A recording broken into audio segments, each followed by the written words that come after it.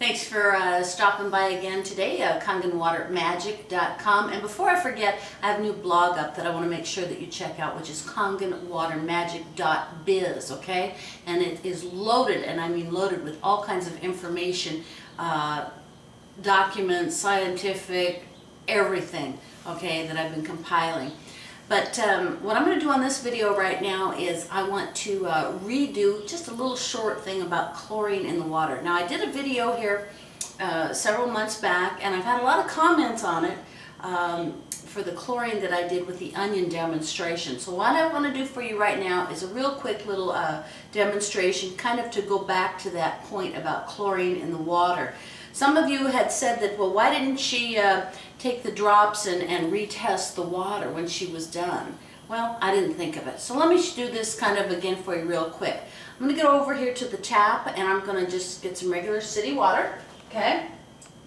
And as you may or may not uh, remember, um, municipality water is mandated by the federal government to contain chlorine as well as lye. Now the lye is what brings the pH up to a green color. But we don't, we're not going to worry about that right now. What we're going to talk about is chlorine. So here's the water.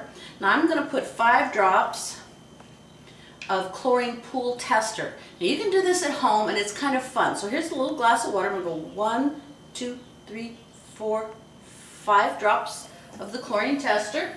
Let me get a little swizzle stick here. Mix this guy up. Prepare to be impressed, or astonished I should say extreme chlorinated water. Okay? Doesn't lie.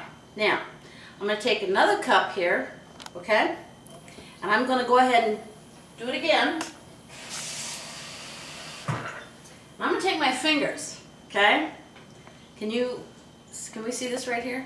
Mm -hmm. Okay, I'm going to stick my three fingers in here. Doesn't matter. It's going to take just a couple of minutes. And while I'm doing this, I'm going to talk to you. What I want to tell you is that when you take a shower, okay? Your body is absorbing up to the equivalent of eight cups of chlorine into your body uh, when you take a shower.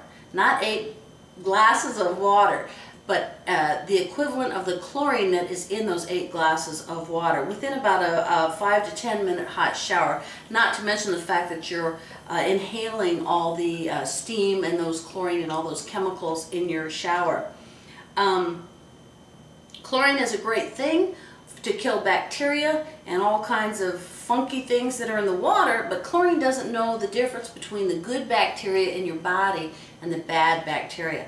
Also, the number one cause of bladder and prostate cancer is linked to chlorine, okay? So, um, I've had my fingers in here now for just a few minutes, and I'm going to pull them out. Now I'm going to take those same drops, and I'm going to one, two, three, four, five, okay? Same swizzle stick, wipe it off a little bit here. Where'd the chlorine go? It's in my body, okay? So I hope this sets the record straight. And basically what we've done is we've cleaned the water. I've cleaned this water. The chlorine's gone, okay? I can drink this water now or whatever, uh, or use it. I still don't want to because it's still nasty water. Um, but there you go. This is the chlorine in your municipality uh, tap water. This is the same water after I put my fingers in and the chlorine soaked into my body. So for all you naysayers that don't get it, I suggest that you go to the website, kangenwatermagic.com or to the blog, kangenwatermagic.biz. Uh, if you go to the website, kangenwatermagic.com, you have the option to go ahead and get this nice DVD. Now I suggest you do that, all right? And I'll send it out to you, totally free of charge, uh, no shipping, anything like that.